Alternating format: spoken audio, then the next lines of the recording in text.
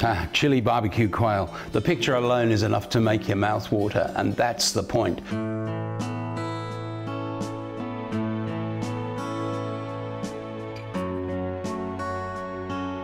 If you do see one, it's got its head up, keep still, wait for it to go back to feeding again, and then move.